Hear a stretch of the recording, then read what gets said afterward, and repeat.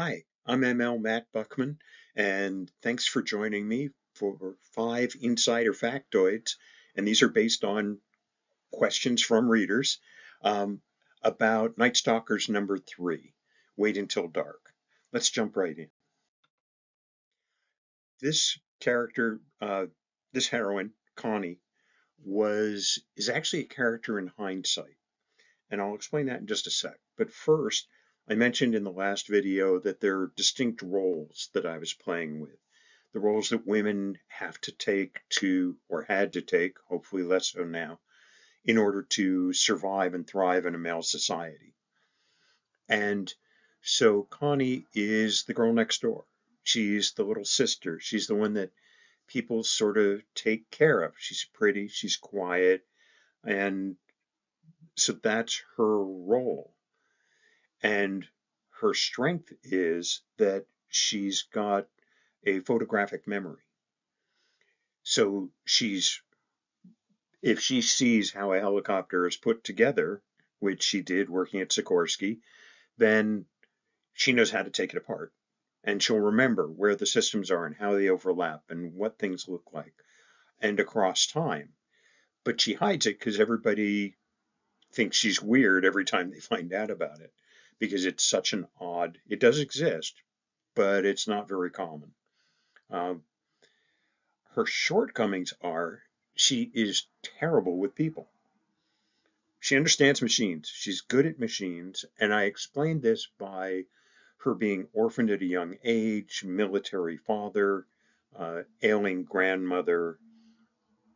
Um, so she's had to pull herself up by her own bootstraps and she's had this gift of this odd memory and has used that to make her way into the military and work into the military. She's also, oddly enough, decided that helicopters that she's made her living on and she specifically focuses on are the demon because they killed her father. And she doesn't have all the facts because it's all secret. But she's out there to conquer the demon machine that she assumes will take her life someday.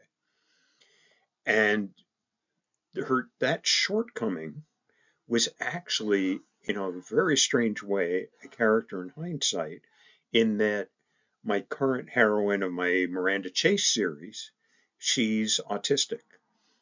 And she doesn't have a photographic memory, but she remembers facts and figures really well, and all she sees is plain. She doesn't understand people because she's autistic and emotions are weird and people are weird and planes she can reach out and wrap her hands around. She understands planes. Um, I didn't even think of. She's also orphaned quite young. She's also orphaned within about a year of the same age. I hadn't thought of that till this moment. But Connie, in retrospect, in hindsight, now that I've done a decade more research on autism since I wrote this book, is probably autistic or somewhere on that spectrum or really close to that spectrum. Um, she doesn't understand people's emotions. She's poor at interaction. She's real. She has a area of special interest, and she has focused her life and her being on that narrow slice of life, which is one of the things many autistics do.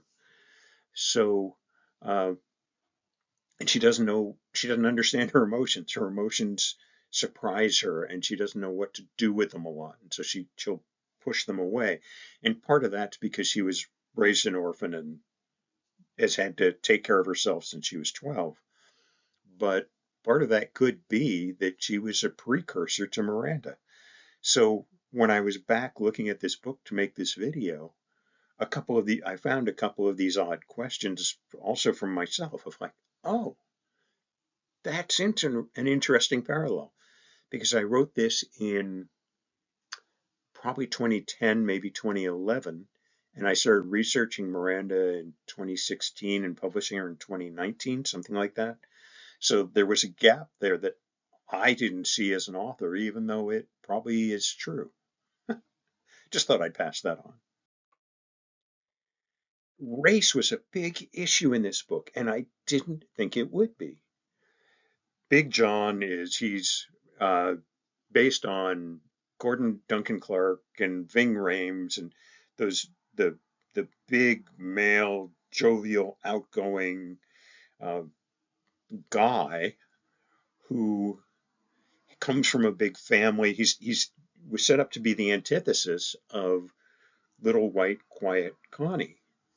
And I had so much fun writing his family because they are just mayhem. They're sisters and cousins and aunts and in-laws and odd marriages structures and there's a mom who kind of rules everything even though the dad kind of thinks he does and um, so it, it's all this big thing that of course is way out of connie's league because she's solo she doesn't have even friends i mean she's a solo act so immersing her in john's world seemed like a great contrast. And I didn't think twice about making an interracial couple until the editor said, You can't do that. I will not buy this book if you do that. You have to remove. And it was like, Excuse me? This is 2012. What are we why are we pushing back against an interracial couple? And she said, It's because your buyers, your readers have now been taught by two whole books that the um, that it's white white relationships. Oh, did that set me off? And I wish I had had the guts to fight back. I was a newbie author. It was my first contract. She was talking about a second contract. Um, I was finally starting to get sales. So I had all these hopes wrapped up in this. And so I folded and I removed any reference to color. I didn't change its voice. I didn't change their interactions. I didn't change the language. I didn't change that they were an Okie farming family. And she picked up on Grandpa's hair was curly and gray. I had to take out the word curly. However, um, I've since gotten the rights back. And so now you get to read it in its original intended form.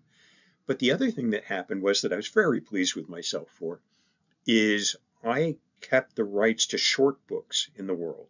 So I gave that publisher the rights to the long novels, but short novels are still mine. So I started writing these short novels that included John being this big black guy with a with a small cute white wife and the two of them interacting and she's the genius of the family and he's the jovial of the family and um, so I kind of you know got my own back. But boy was I irritated that that had happened and that I let that go however it all worked out for the best because I got the rights back and now it's the way it was meant to be I, I got a number of questions about why I use setting the way I do. And in, in this book, uh, particularly, setting set up conflict, setting set up a lot of issues. And like the crash of her father, the supposed crash of her father, um, when she was 12, that killed him. And he supposedly burned as the burned alive in the helicopter which we find out at the end isn't how it happened. Um, that's what sets her, Connie, on this path of I need to take care of this. I need to. And so in the opening scene of this book, she hears the mechanics coming apart on the helicopter she's aboard in a war zone. And John confirms it, but she's the first one to hear it because she's got that weird memory thing going on. And she's like, oh, okay, it finally caught up with me. It's finally going to kill me. And it's only when others start saying, can I do this? Can I do that? Can I do that? That she's like, oh, well, maybe we can get past this. And so it's using that crash and then the repairs coming out of that, the, helicopters just beat to crap. And they have another mission they have to do. So she and John, who've been completely at odds up until this point, have to do this repair together and they have to do it incredibly fast. Well, they're both top top mechanics. So they find a piece through the only medium that she understands, which is the mechanics, it is the repair, it is the helicopter, and they start finding a connection there. Then along comes this then brand new technology called ADIS, um, Advanced Distributed Aperture System. What it what they did was they put cameras all over the outside of the helicopter and then projected the image seamlessly on the pilot's helmet, on the visor.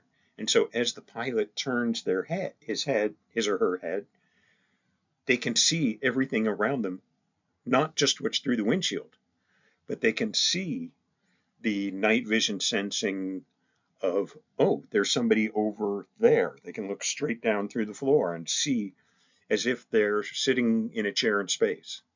Um, I think it's since been, been renamed the RDAS because Raytheon created it. So it's the Raytheon distributed aperture system. But what happens is it lets them again, we're getting into the, that heavy mechanical world of Connie, and we're looking at suddenly she can see things. When they're testing it, she can see John's face without him realizing it because she's looking through the helicopter's eye, not through John's. And he happens to be standing in the hangar. And so, again, it's using setting to and she freaks because she recognizes the look on his face as attraction and she doesn't know what to do with that. Further in, they get into more conflict and things get more tense and they're playing this fierce poker game which has nothing to do with the poker it's yeah it's a it's a bloody nasty game with fierce betting and um, lack of trust and but it's all about the relationship breaking apart rather than being about the game of poker.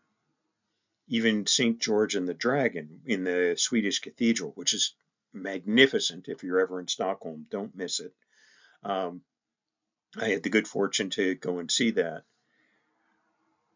Suddenly we have the hero conquering the demon and so it's Connie and John together conquering the demon in front of St. George and the Dragon conquering the demon. And so I love these parallels and using the setting to not as setting, but as an element of the people's growth and evolution or conflict. Little dose of reality here. Um, there's always a plot in these books, and for me, it's probably almost always going to be geopolitical or philosophical or something. Um, this one's about the nukes left in Ukraine, which supposedly there aren't any. And this is way before the Ukraine war. This was written before Russia grabbed Crime, the Crimea in 2014. It's based on shortly after the Soviet breakup, Ukraine said, we don't want to be responsible for all these nukes that Russia that Russia had forward positioned for the Soviet Union in the Ukraine. Back then it was the Ukraine. Now it's just Ukraine. Um, but so they gave them to Russia. They said, here, take them. Well, but they were very corrupt countries. So on an index of 100, Ukraine at that time had an in, had a corruption index of 25. It's not a very good score. There are worse ones. And if you want the least corrupt, it's Denmark, which is a score of something like 90. Um, but and over time they've grown up to 33. But I thought, what about that corruption? Maybe they hung on to a couple nukes, and that became the plot of the story of following that. Russia post-Soviet Union was corrupt and it still is corrupt. And just to give you a reference, um, the U.S. was we had a 75% rating. We're about 20th of 160 nations in the index. In the four years of 2016 to 2020, that slid down by eight points, and it's recovered a little by 2022, but we still have some work to do. Anyway, um, this is what set the plot was the corruption index and the nukes and the interaction between the Russia and its former Soviet satellites. Just to give you a background of where that came from. And the last one is the submarine. I love this submarine. I had decided that my hero, John Wallace, was a farmer from Muskogee, Oklahoma. I have no idea why I decided that. I've never been to Muskogee. Um, and so I was out there looking, you know, what's amusing? What what is in that town that would make a cool setting that'll that'll give it a bit of a feeling of reality. And um, I discovered that the USS Batfish, the number one hunter of Japanese submarines, I think it sunk three in one day, um, confirmed kills of Japanese submarines, is sitting in Muskogee, Oklahoma. And it's not just in Muskogee, it's like 20 or 30 feet up in a park. It, it, these submarines, they're not light. they're huge boats, they're heavy boats. And the story of how they got it there is just hilarious. They were first supposed to get a different boat, and for some reason they didn't. And they finally said, Well, can we get the Batfish? And um, Army Corps of Engineers, who I think had it, uh, no, the Navy had it at that point, and it was decommissioned. And they said, okay, we, you know, let's run it up the Mississippi to you. Well, at one place, the Army Corps actually had to lower the Mississippi by three feet so the mast could get under a bridge, and they they towed this thing all the way up the river to Muskogee.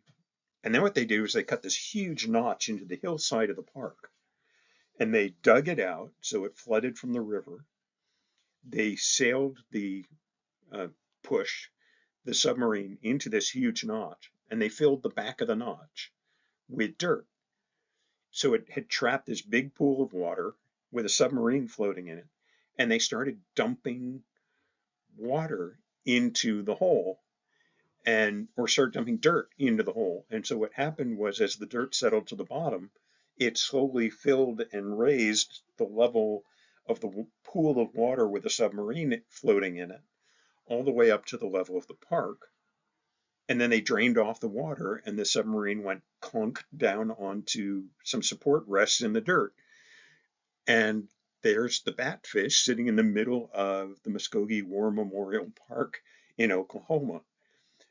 So I just I had to use it as setting. It was just too cool. I made up the night before the night before banquet. My hope is someday they'll read my book and start doing that. But the joke is that the batfish floated again. It wasn't enough that did it in World War II and then in the, I think it was the 50s or 60s to get up to Muskogee. There was a big flood in 2019. And there's a little URL there if you want to see the video. But the whole park above the river. The river got so high that the park flooded.